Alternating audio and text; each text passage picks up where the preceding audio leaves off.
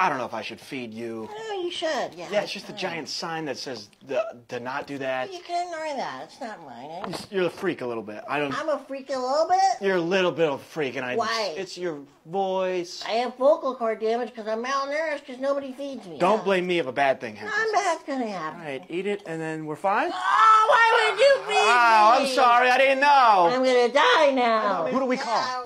Call my mom. She'll know what to do. Explain that I'm innocent.